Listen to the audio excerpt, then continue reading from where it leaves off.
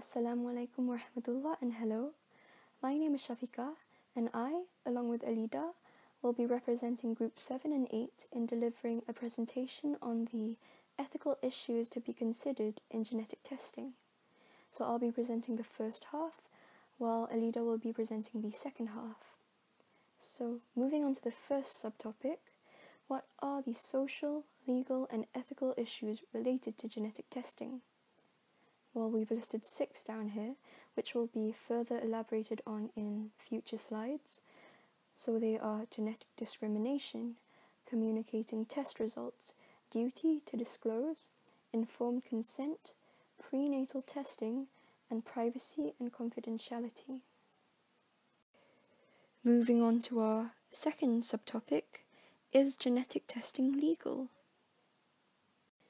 In regards to the legislation of genetic testing, it is no surprise that the discovery of genetic information has provided us with the ability to obtain a lot of predictive information about the individuals being tested.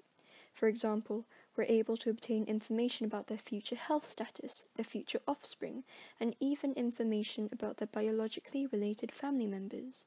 Unfortunately, along with this abundant information comes many legal implications, and therefore appropriate management of this information in clinical and research context is very important.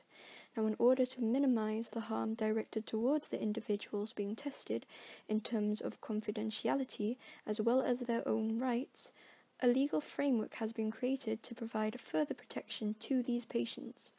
The World Medical Association's Declaration on Rights of the Patient includes right to confidentiality, right to information, right for genetic counselling, and right to freedom of choice.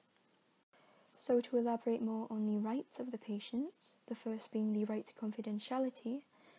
Now, the private information obtained from genetic testing can only be disclosed if the patients themselves have given their permission or if provided for in the law.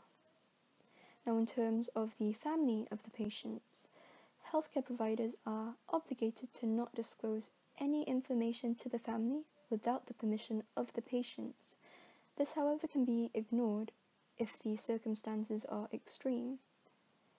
If the family members seem to be under high risk, then it is highly encouraged for the patients to discuss the information with their family to benefit both sides patient also has the right to information. The patient has every right to receive information about themselves in their medical records, and that includes their genetic test results. Therefore, it's very important that we explain this information in a way that they are able to understand. Genetic testing, despite it being able to provide us with a lot of information, still has its limits. Therefore, it's important that the patient understands the extent of this information. Genetic counselling is also a right of the patients. Genetic counselling is very important in helping the patients make decisions based on their own values and interests, and it should be noted that the personal values of the counsellor should not interfere with the decisions of the patients. Genetic counselling is usually encouraged in parents or couples planning a pregnancy or on those who are worried about passing a genetic disease onto their offspring. The patient also has the right to freedom of choice. The patient has every right to either agree to or deny having a genetic test performed on them, and if they have any knowledge of the risks that come with this, they should not be forced to act upon this knowledge. Despite this, however, there is a lot of societal pressure towards these patients to obtain further medical intervention for their own benefits. Now we'll talk about genetic discrimination and why it is an issue. What is genetic discrimination? It is discrimination against an individual or against members of that individual's family solely because of real or perceived differences from the normal genome in the genetic constitution of that individual. Notice that normal is placed in quotation marks because it is impossible to give a characterization of what constitutes a normal genome.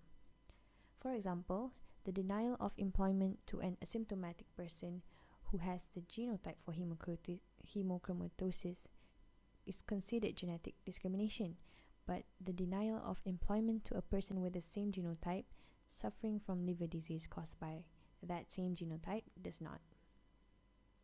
Another example is the denial of insurance coverage to an individual whose non inherited cancer had been long cured would not constitute genetic discrimination, but the denial of insurance to that individual's relatives because of the belief that that type of cancer is heritable would be considered genetic discrimination.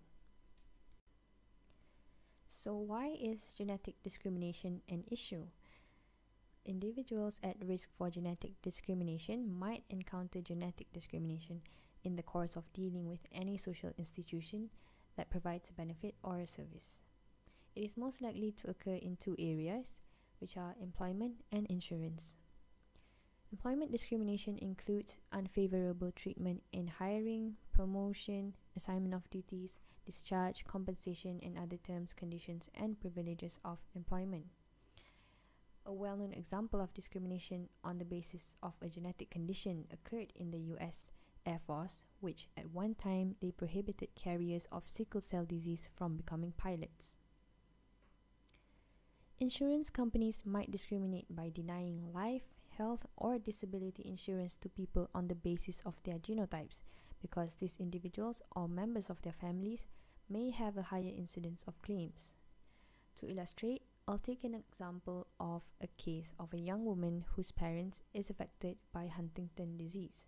There's a 50% chance for her to develop the disease. So, an insurance company might refuse to underwrite a life insurance policy unless she agreed to be tested for the disease and found to not have the Huntington disease gene.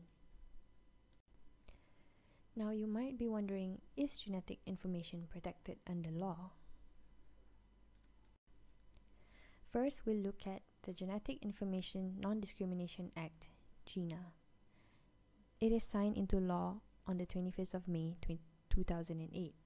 The purpose of this law is to protect individuals from discrimination from insurers and employers, allowing the individual to get medically beneficial genetic tests without fear of losing their insurance and their jobs. It also reassures participants of research studies that their DNA will not be used against them. So, Title I Health Insurance Health insurers cannot use your genetic test results to deny your health coverage or set the price you pay for health insurance. It covers health plans, either big or small, from health insurance through employers to government run insurance and individual health policies. Title II prohibits employment discrimination on the basis of genetic information, whereby employers cannot use your genetic test result to make hiring and salary decision or set other job related policies. Employers are prohibited from requiring you to take a genetic test except in a very few cases to protect the employer's safety. Second, we'll look at the Personal Data Protection 1970. It protects information that is not provided by the individual solely for his or her personal purposes. The Act makes an exception on the condition that data protection is necessary for medical purposes and is taken by healthcare professionals. The third and last one is Health Insurance Portability and Accountability Act of 1996, HIPAA.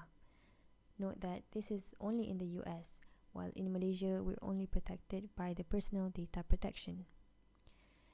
Health Insurance Portability and Accountability Act was enacted on the 21st of August 1996. It is to assure that the individual's health information is properly protected while allowing the flow of health information needed to provide and promote high quality healthcare and to protect the public public's health and well-being who is covered by the privacy rule. It consists of four groups, which are health, health plans, healthcare providers, healthcare clearing houses, and business associates. For health plans, individual and group plans that provide or pay the cost of medical care are covered entities. Health plans include health, dental, vision, and prescription drug insurers, Health Maintenance Organizations HMO, Medicare, Medicaid, Medicare Plus Choice, and Medicare Supplement insurers and long term care insurers. It also includes employer sponsored group health plans, government and church sponsored health plans, and multi employer health plans. For healthcare providers, every healthcare provider, regardless of size, who electronically transmits health information in connection with certain transactions. These transactions include claims, benefit eligibility inquiries, referral authorization requests, or other transactions for which Department of Health and Human Services HHS has established standards under the HIPAA transactions rule. Next, healthcare clearinghouses are entities that process non-standard information they receive from another entity into a standard or vice versa. Lastly, business associates. A person or organization other than a member of a covered entity's workforce that performs certain functions or activities on behalf of or provides certain services to a covered entity that involve the use of disclosure of individually identifiable health information. This includes claims processing, data analysis, utilization review, and billing. What information is protected? Health information includes many common identifiers, for example, the individual's name, address, birth date, and social security number. And information including demographic data that relates to first, the individual's past, present, or future physical or mental health or condition. Second, the provision of health care to the individual. And third, the past, present, or future payment for the provision of health care to the individual. These are the references used for this presentation. Thank you.